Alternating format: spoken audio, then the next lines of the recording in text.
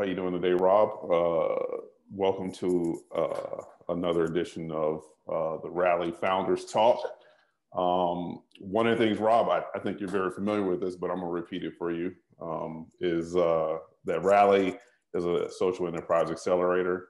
Um, our goal is to help uh, passionate entrepreneurs um, transform their ideas and existing work into sustainable ventures that create positive social change.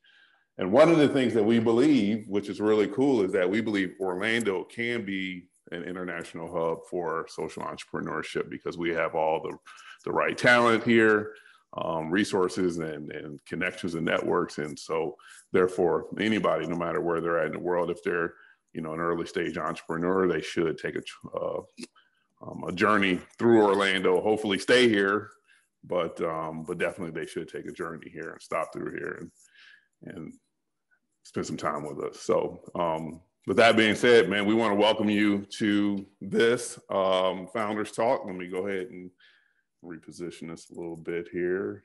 All right, cool. Um, so we always like to start these things off with um, you telling us a little bit about um, Baby Rob. You know, who who was he, um, and and more importantly, uh, talk about seriously, Baby Rob. Yes. You want? We want to know about Baby Rob, um, and we want to know how Baby Rob ended up doing the work that he did. So if you can just kind of give us a little short history of from Baby Rob all the way up to adult Rob, and and how things in your lives got you to where you're at today. Sure, I'm actually having fun watching watching Shay's on guest this morning. Us, so. oh yeah, there we go. This is Kevin. We love Good morning, Kevin. You want to say hi? Everybody's saying hi to you. he whispered it.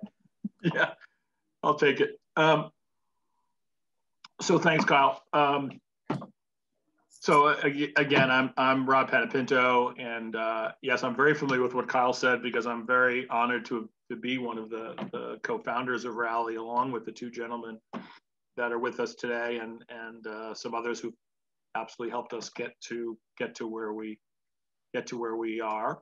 Um, and I'm currently the chair of uh, the chair of our board, uh, and I also uh, run an organization called Entrepreneurs in Action, which actually was one of the uh, sort of antecedents of, of, of what became Rally. It's one of the two entities that, that merged to become Rally, but now is spun off into becoming the managing partner of a social venture fund that invests in social uh, social enterprises, uh, largely through the Rally program. Although not fully wed to that, we've made four investments so far, and three of them are, are through Rally.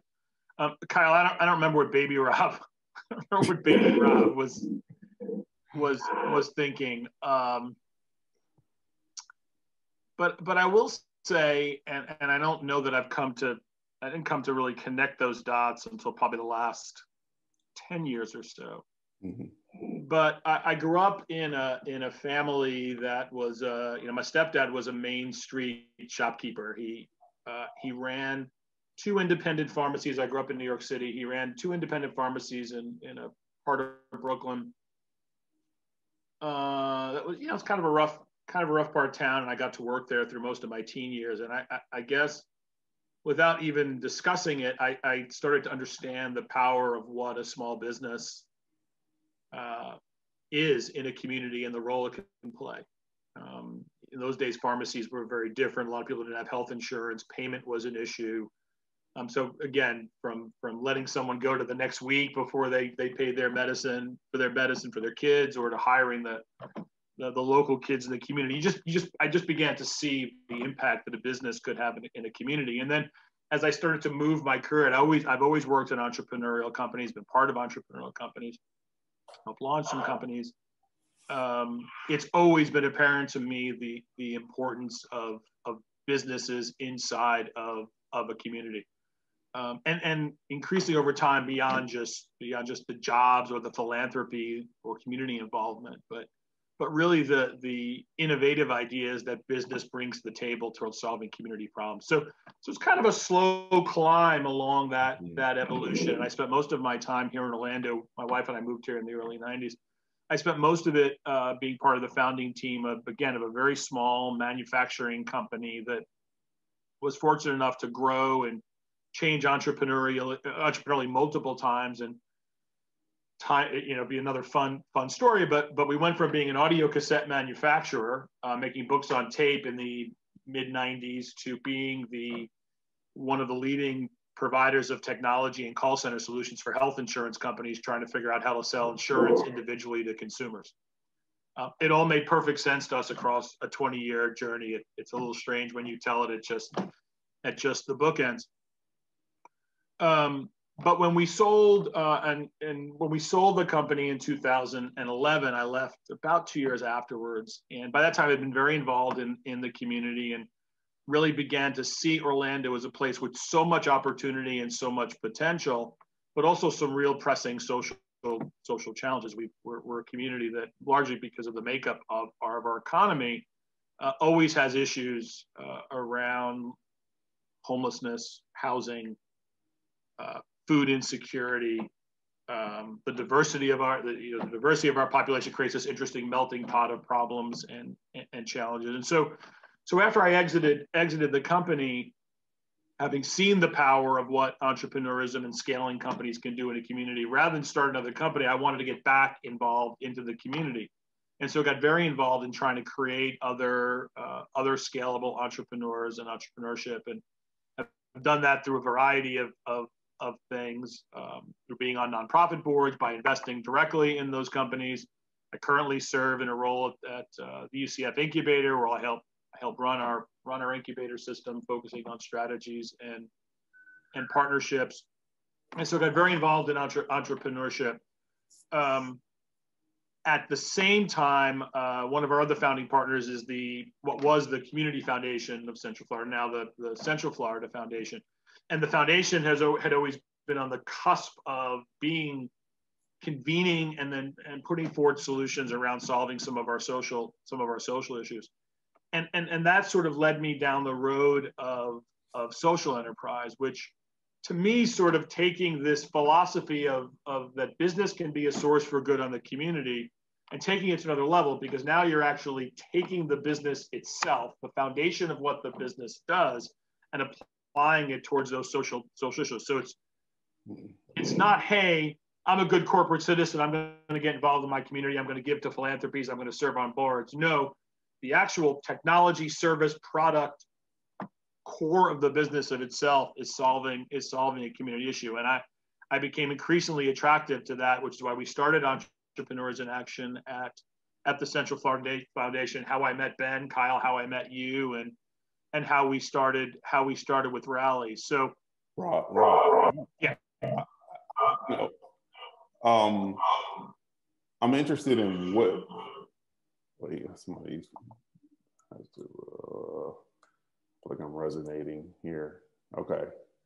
Um, I'm interested in, in what was the, what was the thing that happened or things that happened that caused you to um, become interested in re-engaging the community. I mean, it wasn't just a story of seeing just the your father running a pharmacy in Brooklyn and yeah. seeing the impact of that. But then, what were some of the other things that were motivating you to um, that you like that that fuel that that desire or that thought? Did you see some things occur? Yeah, yeah. It, it's it's you know. Um, I, I, do believe that in some cases, Kyle, these things are they're they're both conscious and unconscious. There are there are things you decide to do, and there are things that I think you are called to do that sometimes you might not even know at that exact moment that you are being called to do them, and it's only with looking back a little bit that you start to connect connect some of those dots. At least for me, I wish I could be that conscious uh, yeah. all, all, the time right? I, I and, and i work on trying to be more purposeful as time goes on. But i, I said I, here i mean I, I again essentially I, I, guess here, here's what what happened. Um, as our company started to scale i got more involved in the community and i saw what i could what what the impact i could have in very small ways. And so after we sold the company and and you know i was blessed to be in a in a in a good position um, I could have gone down two paths, and both paths are are valid paths. I, I could have gone back and tried to do what we did at our company connections and do it again. Like, let's go start another company. Let's go, let's go replicate this. And and several of my partners did and have been very successful in in doing that. I conscious that was a very conscious decision. I did not want to do that. Um, two reasons. One was very personal. I had spent a lot of times on airplanes. My daughters at that time were 11 and 9 and didn't want to be gone 3 days a week. And so part of it was, you know what, I just want to spend more time with my my family. You start when they get to that age, you start to see that you know, you, the window's starting to close and when they're going to, you know, fly the coop. And so let's take those years. You don't get them back. And so there was that. Um, but I also did feel a real responsibility, frankly. If I, you know, if you looked at how other communities have been built around innovation and entrepreneurship and, and scale, it has it has been because those who have been blessed enough to be successful dive back in. And and I wanted to dive, I wanted to dive back in. So so some of it was a little bit of a of, of just how I wanted my life to be, but some of it really was a a, a calling around okay you you you're in a position now where you can help in a different way you could before. Go help.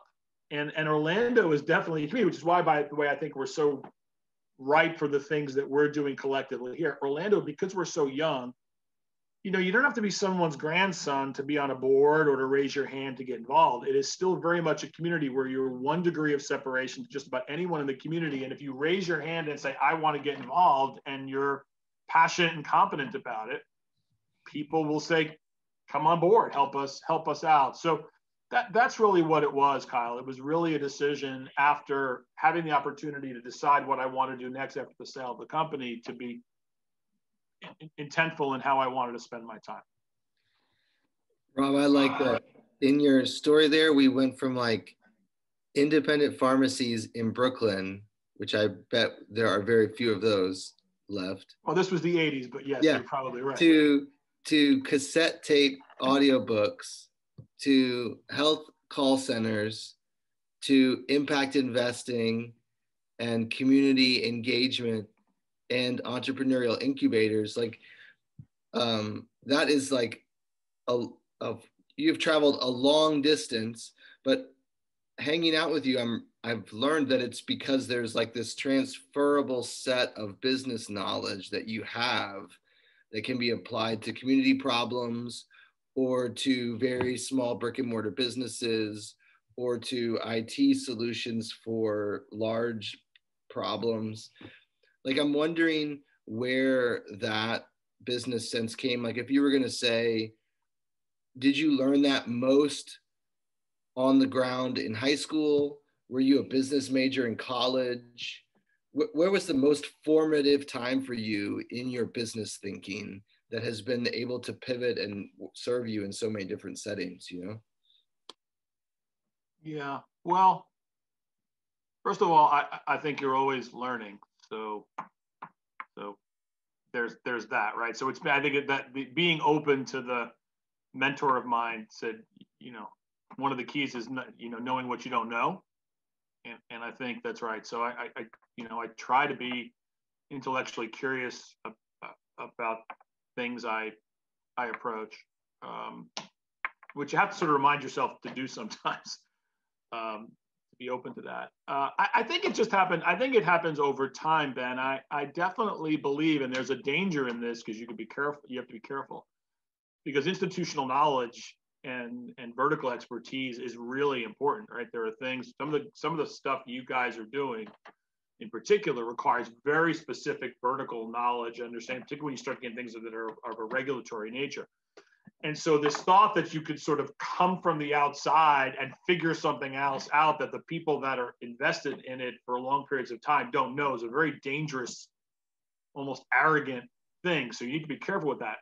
That being said, I, I, I do believe that that fresh perspectives and fresh thinking on things that have been intractable problems, whether they be in business or in community over long periods of time, you know that opening up the window and and and rethinking things is is is critical to innovation.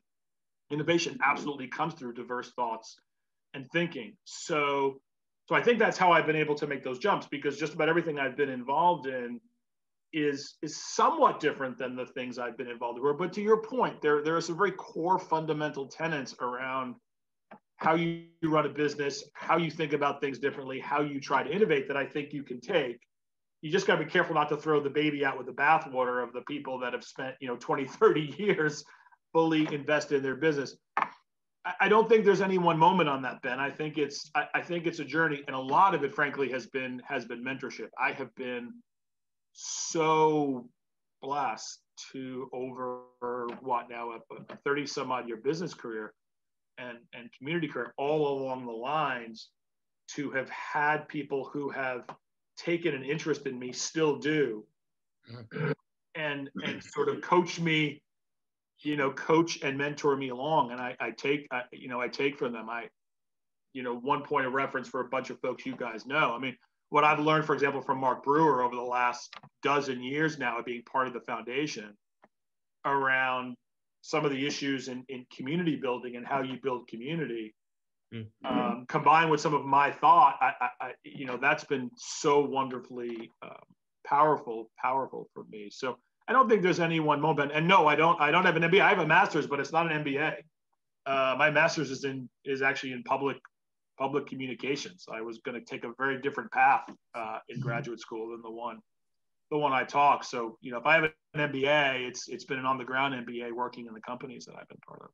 Yeah, I, um, you know, I've thought about that. Like, how, how do I get to where I am today, and all the things that I've done that led me to this point.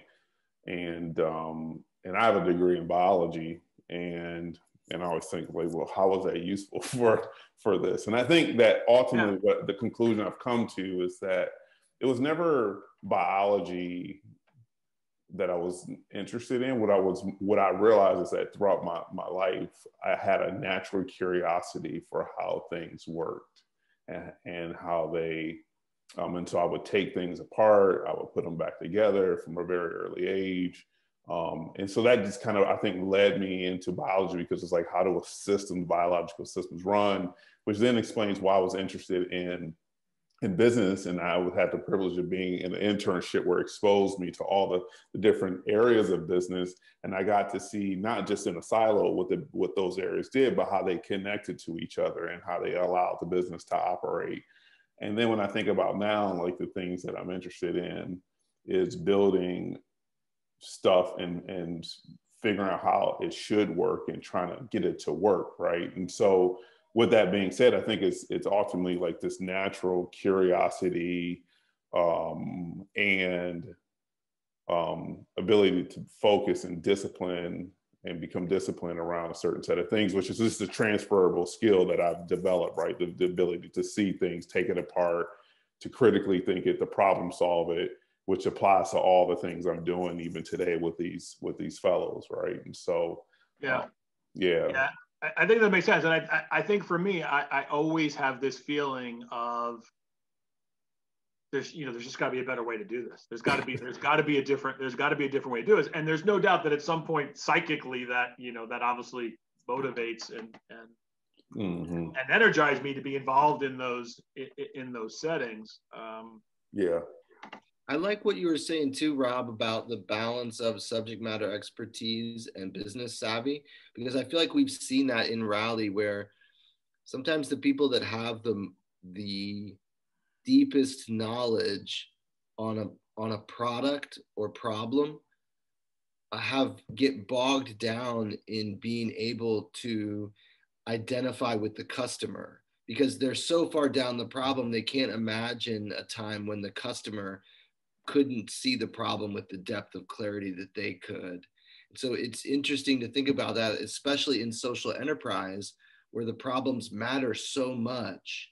Um, to, to get that right balance of industry expertise and problem sophistication, but also a business case that just makes sense and appeals to a customer. Yeah, it's it, again, a, it is a really delicate balance, and and you know, I you, you got to catch yourself. I mean, I find myself in, in certain areas now where I have presumably some expertise. Well, you you'll automatically start with this sort of defensive sort of well, you Yeah. can't be done that. It can't be done that way. Because if it could be done that way, why wouldn't I have already been doing it, right? Um, and and you gotta you, you gotta really get get get past that.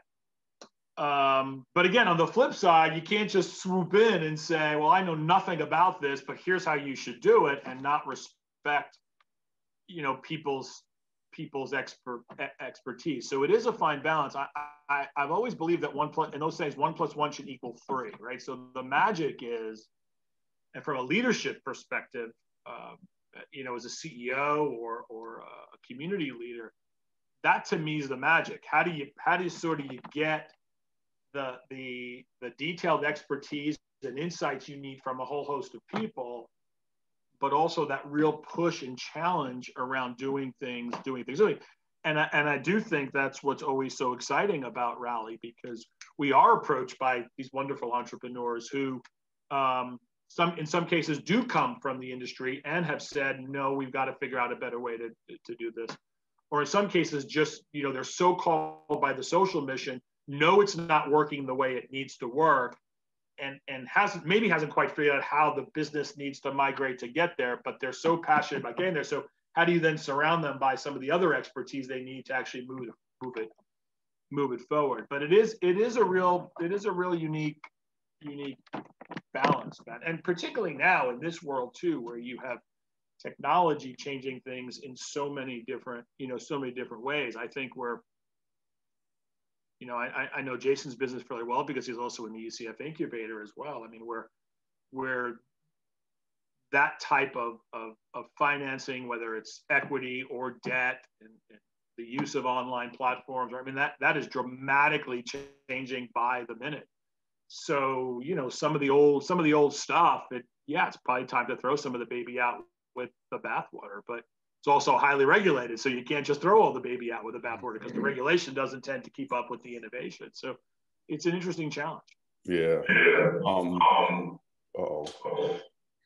Getting this feedback. Ben, do you hear that? Yeah. Okay. There we go. It's gone. Um. So I want to be, before we we get to like Rob's golden nuggets of of practical wisdom and immediately applicable wisdom, uh, applicable wisdom. Um, I want to know about as we talk about motivations and subject matter expertise. Like you're you're very involved right now in, in, in affordable housing. What was the thing? What drew you to that? And and did you have the background to in that? And if not, then how did you go about surrounding yourself with the right people or right information to make yourself credible? Because right now you you you're you're one of the, the leading thought leaders on this within Yeah. our region. yeah, well, you know the answer to the second part of that question. The answer is no. Uh, so it is kind of interesting. Well, because I'm not a real estate, I, I'm not a real estate guy in any or developer in any way, shape, or form. It, um, I, I, listen, it came from, it came from this conversation where we're having. Um, um, so maybe a couple of you guys know this, um, local guys. Um, so so a couple of years ago, I decided to to sort of migrate to the dark side a little bit and ran for public office. And part of it was uh, because I I got frustrated. Uh, outsiders who run for public office, it tends to come from some sort of frustration. Um, and I got frustrated that there were some things in our community that I just didn't see us having the conversations we needed to. And they tended to be the things that were longer term, which sometimes when you're in public life, it's harder to think in those longer terms because you have shorter election cycles and all that, you know, all that practicality. And affordable housing was one of them for me because for those of you who are familiar with affordable housing issues in Florida, um, particularly in Orlando, we have a double-edged problem here because we have both a supply problem and a demand problem. Uh, we live in a community that people want to live in for very, very obvious reasons. And so they continue to come here, um, which creates demand issues. On the other hand, um, we have an issue of being either the lowest or the second lowest economy in terms of wage. So we have a lot of people here who have a hard time making a good income. We have a lot of people coming in. We have not enough supply being built. And so all of that leads, you know, Nathan, Nathan, you get this. I mean, that all leads to a huge, huge crisis. And it's been going on for years. It's been going on for years. And it, it, it, listen, it's a national problem, but it's really acute here.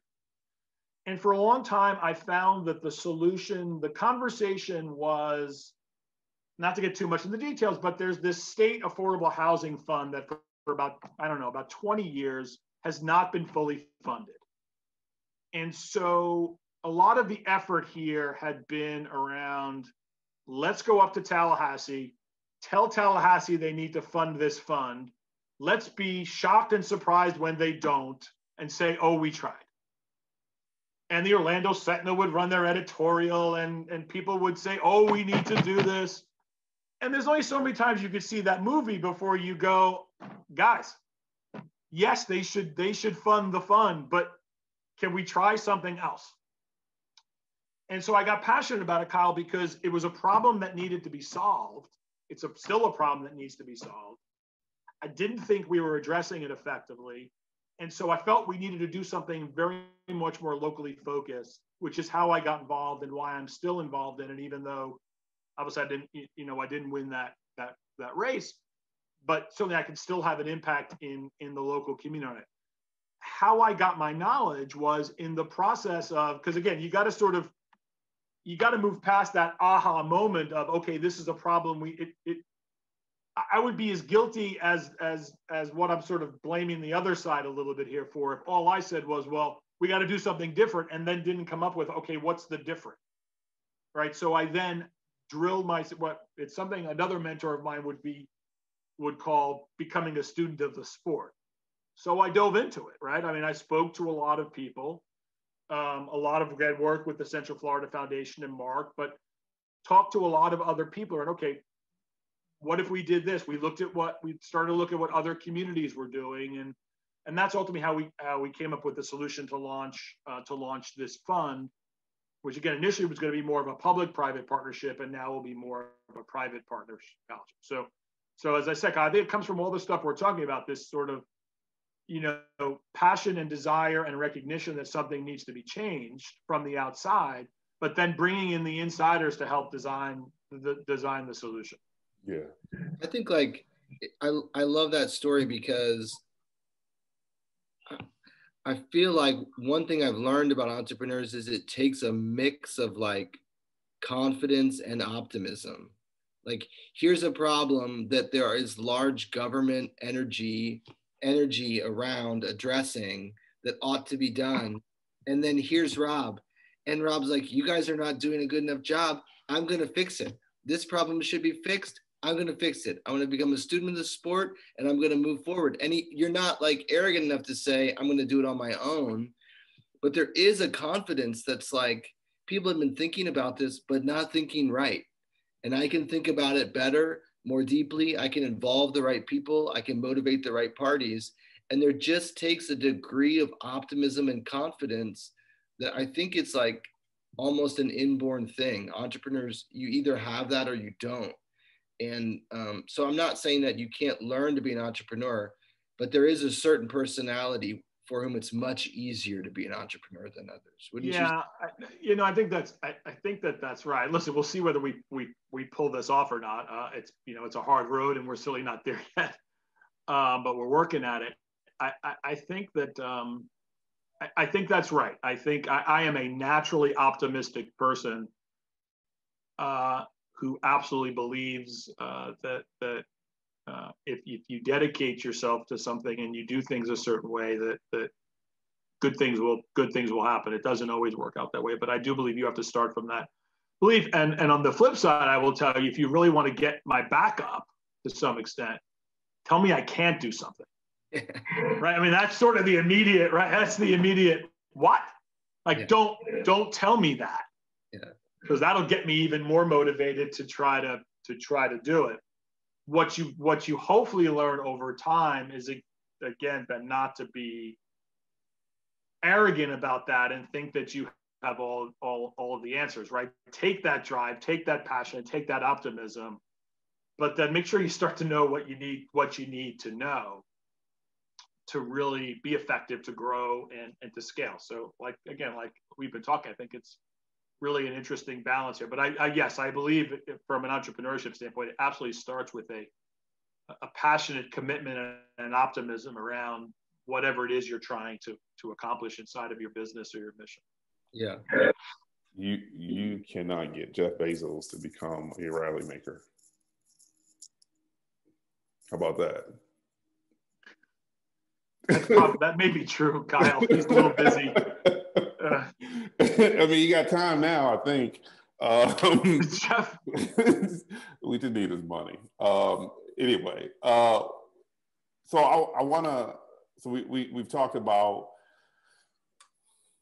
baby Rob sitting outside of his his his father's pharmacy store, um, observing how his father's business is impacting the community um, while eating a pizza or a bowl of strawberries or whatever you were doing eating at that time. Um, and then we moved into your business and the evolutions that that made and and then running for political office and then becoming like this affordable housing czar. I don't know if that's the word that has been assigned to you, but I'll give it to you today. I'll claim it. Um, and so there's a lot of things that have happened, right? Um, and, and, so um, as we look at these these fellows and, and, who are on, you know, this entrepreneurial journey, um, as well as um, uh, those who you know will listen to this later on. Um, let, us let's, let's let's talk about some of the the wisdom or insights that you can give people that they can walk away from today. Uh, and so we you know we could do two or three, but but I want to unpack each one. Um, what's the what's the first thing that you feel like is like that you feel like is most important that you want to say not only to this audience but one that's watching about social entrepreneurship and the journey and how to be successful at it? Well, I, I, will first. I will say the the key to me to the to the real successful social enterprises I've I've seen. Uh, and by the way, I, I have not Does, you don't necessarily need to to be here at the very beginning because I have seen examples of where it happens over time, including a little bit with the gentleman uh, who in my box is up in the, the top left here, Ben. They're the successful social enterprises intuitively balance both their mission and the business. And so that you really start to understand how the two feed each other, how how your business model actually thrives off of that balance. So that your how you build your revenue how you manage your staff how your margins operate all very seamlessly blend blend between those two. I'll give you a very specific example. Are, are, is sean going to come do one of these Seipler? clean the world? No he's not. yeah. he hasn't okay. signed up so one of the other partners involved in this business is a, a wonderful social entrepreneur, Sean Seipler, who runs Clean the World here locally, which which just has an amazing model, both a for-profit and a not-for-profit. And I got a chance to, to be an advisor for Sean for several years and, and still part of his advisory group. There was a point in his business where if you talk to the operators in the business about how they ran the business, they led with the mission.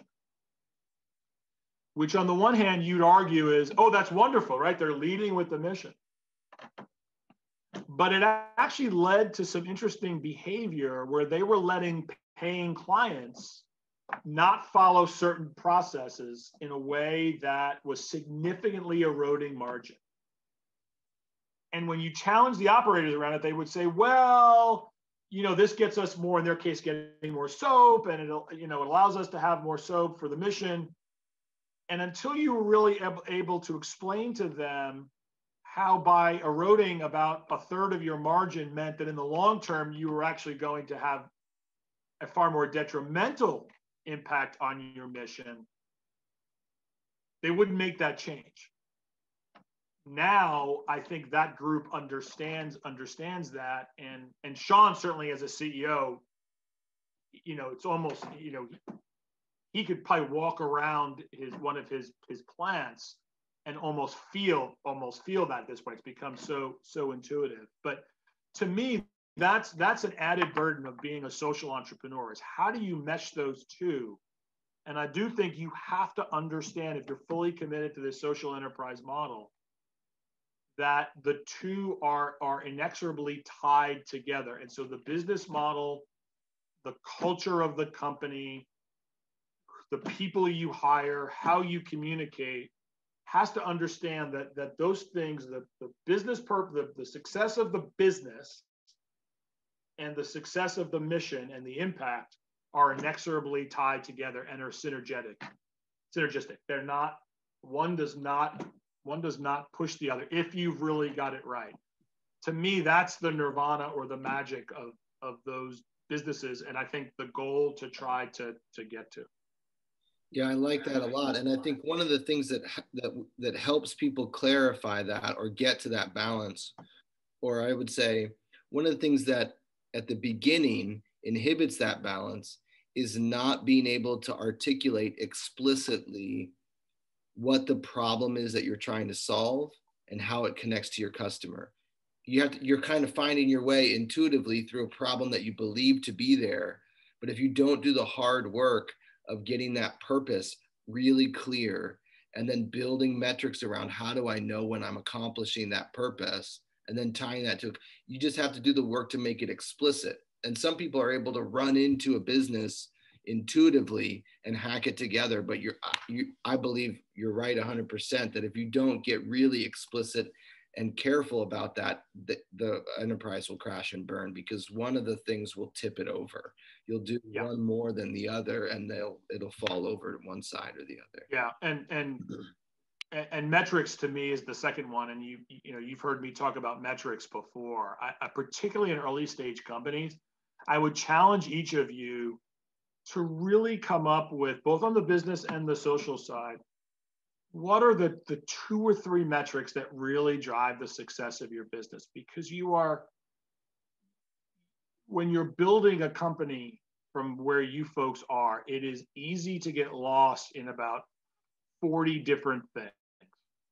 Because in many cases you're you know you folks are chief cook and bottle washers in your business. There's no huge staffs behind you but what are the two or three key things that absolutely will dictate your success? It could be revenue. It, it, it could be a certain margin percentage. Um, it could be uh, making sure you have a certain amount of customers within a certain period of time. Um, uh, it could be one of the social impact metrics. But I would know what those I would know what those are. And and you know, on the business side of it, early stage companies suffer from a lack of financial sophistication. And I'm not saying you need to go out and get a CPA, but man, you need to you need to understand how an income statement and a balance sheet works. You cannot measure your business on how much cash you have in the month uh, in the bank at the end of the month. That is not a good metric for your for your business. So you really do need to understand the main drivers and motivators of your business because so from an investor standpoint, I will tell you what we look at for companies at an early stage is can you articulate the vision of where you're trying to get and have it be a big vision, right? Because investors want returns. But we're also looking at knowing if you've got to go from A to Z, do you understand enough how to get from A to B? Because if you never get, it's, it's fine if you know how to get to Z, but if you don't know enough about your business to how to get to B, you're not going to get there. And, and, you know, when you're at an early stage and for example, raising capital, there's almost an understanding you're going to have to probably raise some capital later. So we're just trying to get you from A to B. So really understanding your business in a way that helps you move from A to B is really important and again, you don't need to have, know how to get to A to Z, which is why you see these presentation slides with these hockey sticks, and investors go, "Yeah, okay." Um, but but I would encourage you to really spend the time here to understand what are those two to three things that you have to do uh, to really make your business business successful. And so in Nate's case, you know, I think we're still I'm one of his mentors, so I think we're still working through that. But is it is it you know sign you know is it getting the the the the revenue model on the property management side the really key here? Is it having some of the back end plugins to help build the, the credit? I'm not sure I know the answer to those things yet. There may be other things I'm thinking of. For Jason, I know you've got the challenge of having, and you mentioned at the beginning, you've got to build two marketplaces at the same, you know, at the same time.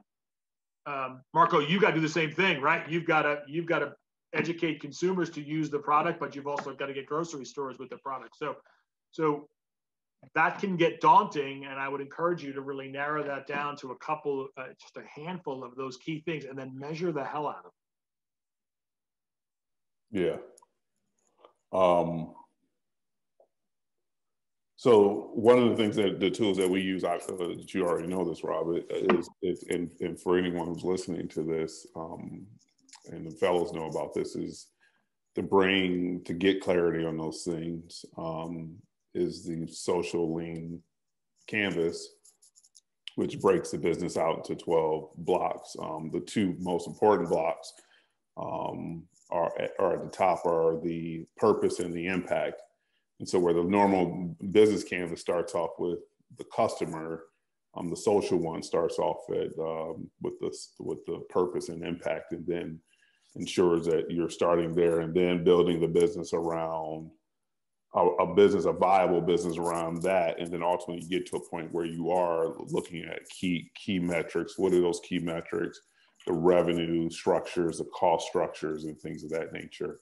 Um, and then the other thing that people can look look for is the um, theory of change, which we use, which shows um, a, a, desired state on where the world and how the world should look, um, and then what's the current state of the issue? So if it's housing, what does it currently look like? And if you do everything you need to do, what is it ultimately? What's the desired state of that? And then the business model fits up in the middle of it. So I just wanted to bring notice or bring those two documents to the to the yeah. front so that if people are looking to um, try to address the things that Rob is talking about, that they can go out and, and, Google those and get those documents. And then obviously you can apply to Rally and, and we help our fellows walk through those documents. Yeah, but, but, but, you know, Kyle, here's the key to that though, right? Those need to be living documents, right? They can't just be the thing you did and then it goes on a shelf or maybe you look at it every year. What I'm, what I'm really encouraging both, you know, certainly our, our cohort who's in front of us, but, but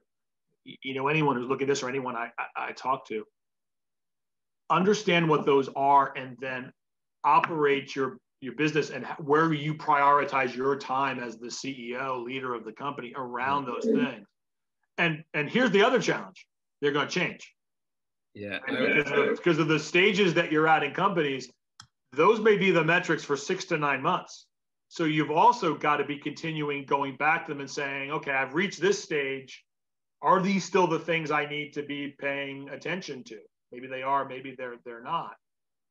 Right? This is the challenge of of of growing something from from its very start beyond. But those are great tools and great documents, but they're only as good if you continue to to refresh them and focus on them and use them.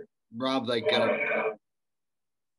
that was a learning for me, partly around how how badly did I want this business to work. Like I started in coffee very missionally. I tell people I started coffee in coffee philosophically. Like I just wanted to be able to buy coffee directly from coffee growers and drink coffee that I knew was having a positive impact and not participating in an exploitative system, right? That was why I got into it.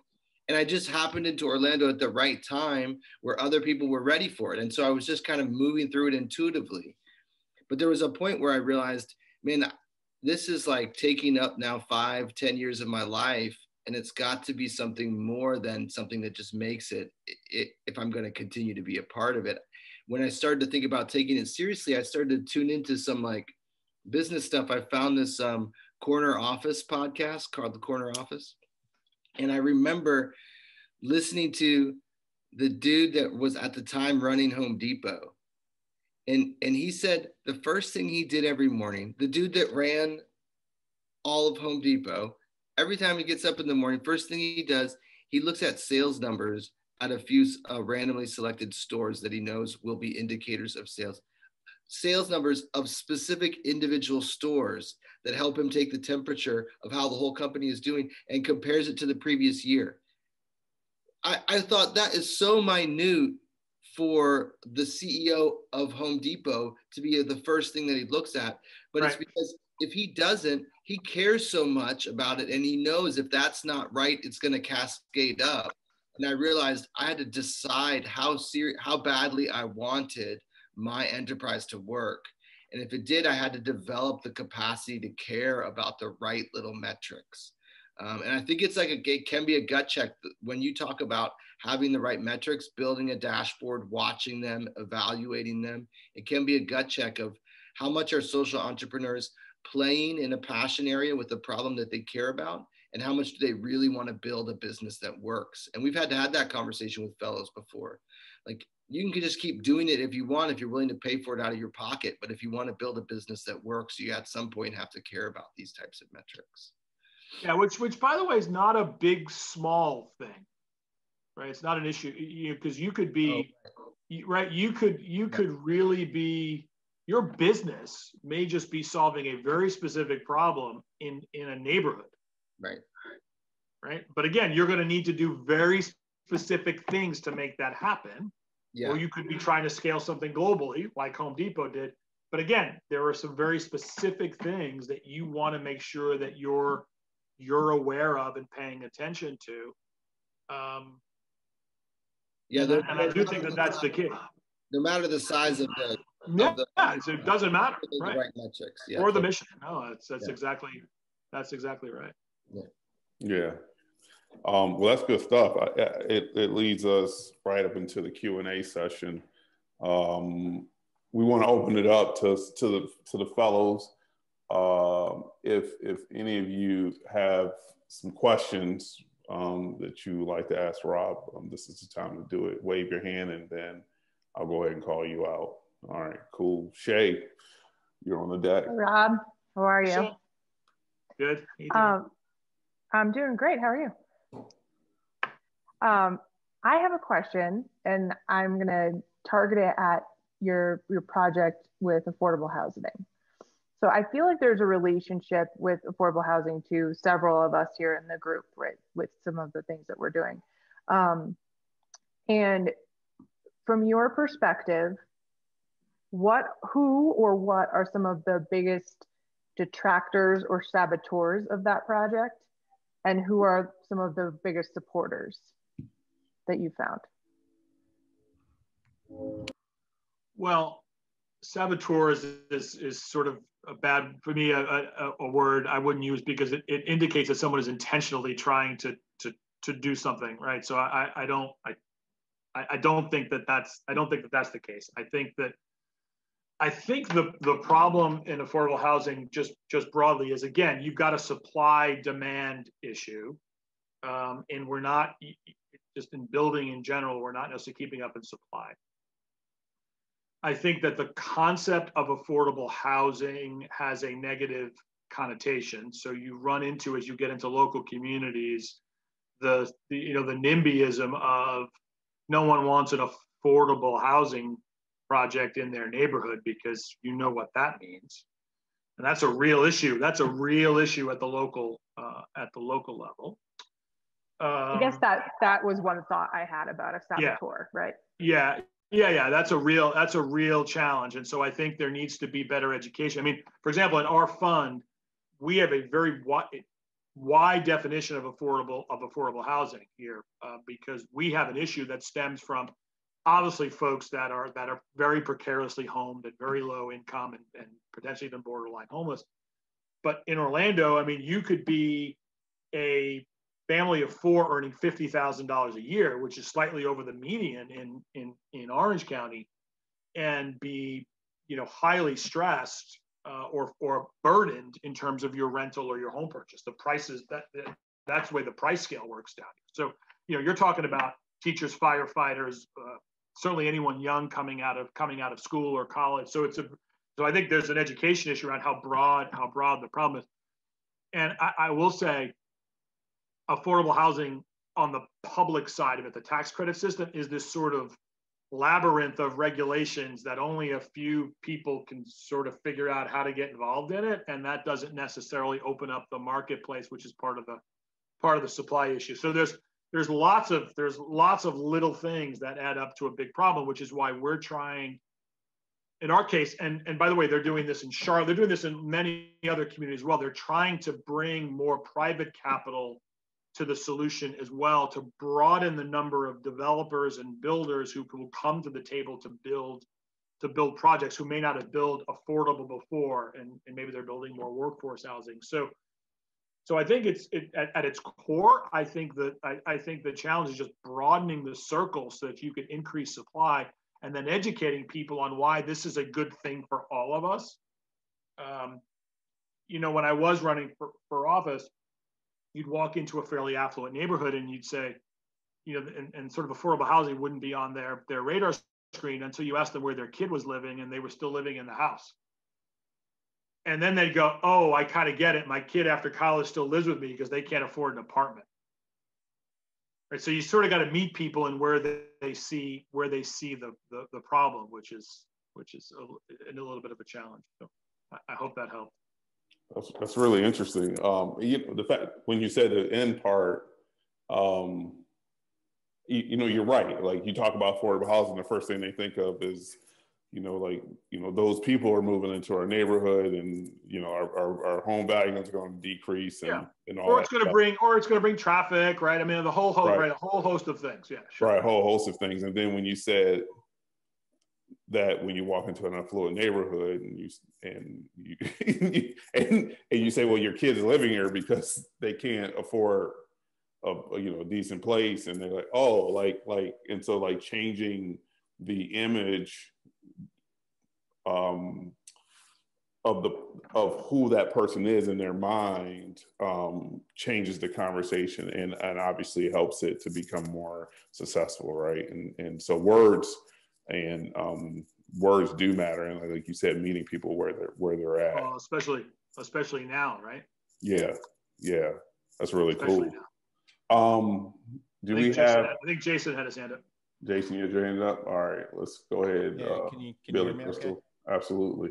So, when do you know when uh, something is a philanthropic, like 501c3 type problem or it's an impact sustainable business solution. When, when do you know when philanthropy is the tool versus social impact is the tool for a problem? Um, that's something i kind of struggle with and i'm curious to get your perspective on. Hmm. it's a great question jason um, well listen i think there are certain there are fundamentally, I guess the simplest way to look at it is: is there a way to to generate the capital you need to solve your mission through anything else but philanthropy? There are some there are some organizations, particularly around some, you know, I'd say some social services, nonprofits, um, where there, you know, there just may not be another way. They are wholly reliant on on philanthropy. Um, but by the way, I, I don't think that it's necessarily in all cases also an either an either or. I mean, there are models here that are a blend of both, right? Most arts organizations are a blend of both. They rely on philanthropy perhaps to do, you know, big ticket things, renovations, building a new theater, but they run their operating budget on on ticket on ticket sales. Um, zoos would be another, you know, another example. Aquariums that aren't municipally municipally owned. So there are, you know, there are but the Girl Scouts, right? They make a lot of money selling cookies, but they also raise raise philanthropy. So so I don't think it's an either it's an either or. Even the company I mentioned before, Clean the World, their core model is a is a revenue generating model model where in their cases hotels pay them to pick up their soap but they also have a nonprofit arm which allows them to take philanthropy to run educational and distribution programs in, in the third the third world so I don't think it's an either. I don't think it's an either or, Jason. I think it's again. I think it goes back to where we were talking before about a real understanding of the business model and the pieces that you need in place to make the business sustainable while also driving driving the impact. Yeah, I, Rob, I, I, to, I tell people to look at where the market is. So, is there a market for donors who, who are motivated to address the problem that you want to solve. is there a market of customers who are willing to buy a product that addresses the problem you want to solve? And then the second level is huh, which work do you want to do? Do you want to do the work of developing donors or the work of selling products? And so I feel like those are like to your point, both can exist inside a company. But if, if you're a social entrepreneur who's looking at a particular problem and your question is, should I start a nonprofit or a for profit? The first question is, is there a market of donors that care about this problem? Is there a market of customers that will buy a product that addresses this problem? If the answer is yes to both of those, then it's which work do I want to do? Because you have to recognize you're going to have to do work in both cases. Uh, so let me I'll give, I'll give an example of a company that was in our last our last cohort that I mentored. It's a it's a fashion it's a fashion school, and because sometimes these things are also moments moments in time. So they have a a nonprofit that allows them to provide training for women in in in Africa to be trained to to sew and to make uh, to make different fashionable items. Their long-term strategy is to develop is to do two things. One, to develop their own brands that these folks could graduate from and become part of a company that actually makes this product, or to become an outsourcing arm for other brands um, around sustainable fashion and again, but other things that these women these women can build, so they create long-term employment for them. They've got a little bit of a chicken chicken and egg, and what they've what they've decided in the short term is build build the nonprofit because that gives them the labor capacity they need to then go out and talk to the folks that could actually buy their goods um, that will create the revenue longer term so in their case, they may be 80% philanthropy and 20% revenue now. But five years from now, that may that may flip because their goal is over time that the profits generated off of the sales will feed back into the nonprofit and they won't have to be as reliant on philanthropy. So again, these are also points in points in time, but also to Ben's point, since you can't do, and my point earlier, you, there's only so many things you can do that understanding of that plan for them was really important because actually what it stopped them from doing they sort of backed off the revenue side of the business for a short period of time which seems counterintuitive to what we're trying to get them to do. But in their case it actually made some sense in how they're trying to build their business over time.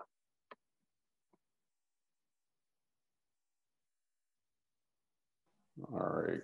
So let's see. Do we have any remaining any other questions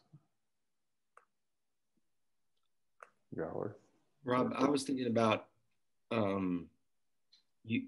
You do a fair amount of impact investing at this point, and and I was thinking about that conversation of the people that swoop in and are new ideas. Um, what's the best case for what an investor can bring to a social entrepreneur? Like, what do you hope to be as an impact investor for the social entrepreneur? Yeah, I, I tell you in the case of of our fund, um, we're trying to do a, a, couple of a couple of things given the resources of the fund and and the types of companies we invest in. So some of it is absolutely what I said before: is we know we're not going to provide enough capital to get you all the way down the road. So what we're trying to do is to be that early capital either through us or by bringing others along with us to help you get from point A to point B or point C, where the business is now at a much more sustainable point where should you need larger, more institutional capital, you may be able to do it on your own. You can actually you can actually raise it. So I think we see ourselves as kind of the the early advocates and believers in terms of capital to help you get your idea off the ground and get it to be to that next step of sustainability. The other piece, certainly, we also want to be is, you know, we want it, it should be more than capital, right? So we want to bring the expertise, the connections, the contacts of the people that are around our table. Um, because look, if we can make a phone call and introduce you to somebody that could be a client or an advisor or a key hire, it's selfishly, it's in our best interest as a fund, right? As a fund, we're going to increase the opportunity of success of, of, of, the company.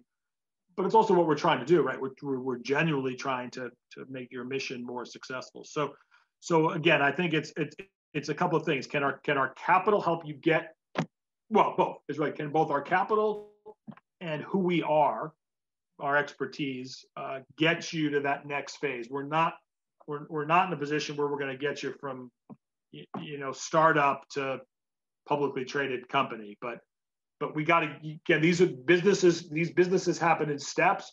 We want to get you to say toddler to teenager.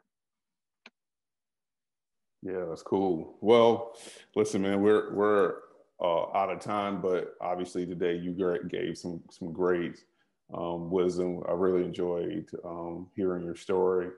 Uh, i do like like the visual of of baby Rob once again being in, in Brooklyn, eating a cheese pizza in front of his his father's shop. Baby Kyle in Detroit, you know, probably sitting on the hood of some Oldsmobile, and then also Baby Ben up in Lake Mary um, with his bicycle, and uh, and and us all meeting here today together, right? Coming from different places, um, and then our journeys brought us here on this call today to be able to, to, to have this experience. And so that's really cool. I really enjoy, I, I really enjoy working with you. If you can't tell already. That's mutual. That's a yeah. very mutual.